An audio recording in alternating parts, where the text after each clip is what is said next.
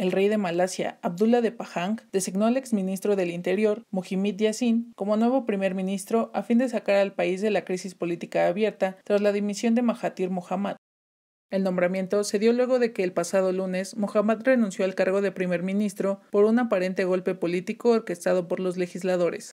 Fuentes cercanas han expresado sorpresa de que Mujidin haya sido elegido por el rey, ya que se pensaba de manera generalizada que el ahora ex primer ministro Mahathir tiene aún una mayoría parlamentaria importante.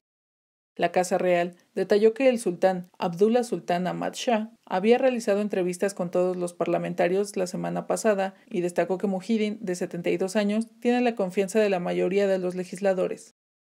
Luego de la designación y ante la sorpresa de su nombramiento, Mujidin pidió a los malayos que aceptaran la elección del rey.